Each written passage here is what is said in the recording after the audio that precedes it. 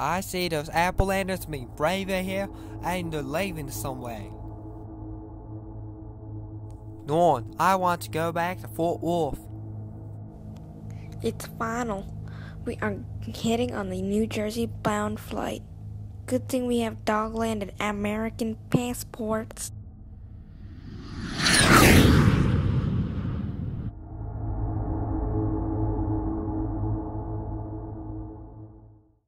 We need to lure them over. Do you have the chow mein with the artificial dog meat?